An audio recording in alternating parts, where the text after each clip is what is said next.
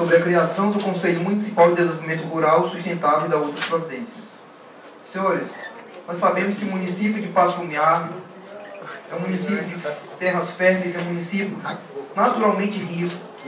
e nós do poder público, nós representantes do povo, precisamos dar sustentação a esta riqueza do nosso município. Já foi criado há pouco tempo o Fundo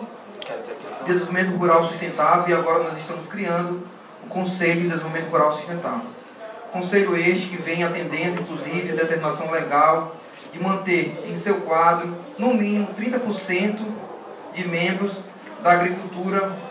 familiar. Então nós temos aqui colocar as entidades que estão representando no município de Passo Fumiá, a Federação dos Trabalhadores da Agricultura do Estado do Maranhão, o Sindicato dos Trabalhadores Rurais, a Associação de Produtores Hortifrutigranjeiros de Passo Fumiá, a Associação de Produtores de Iguaíba, a Associação de Produtores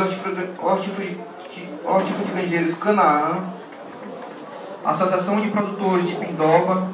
a Associação de Produtores de Mojó e Tendal e a Associação de Produtores de Vassoural. Então a gente fez algo bastante democrático. Aqui foi colocado várias entidades que com certeza contemplam todo o município de Passomiá. E hoje a gente espera aqui que este conselho, conselho este, que irá, irá ser formado de forma paritária, onde todos os membros de forma igualitária serão indicados Aqui nós temos como colocar também as entidades diversas das entidades da, da agricultura familiar que serão indicadas. Entidades representantes do poder público da sociedade civil,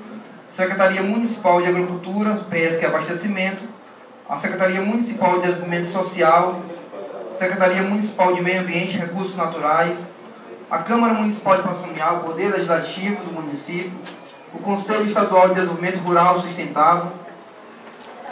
Instituto Nacional de Colonização e Reforma Agrária no, no Maranhão, Instituto, de Colonização de Terras do Maranhão e a Procuradoria Geral do município.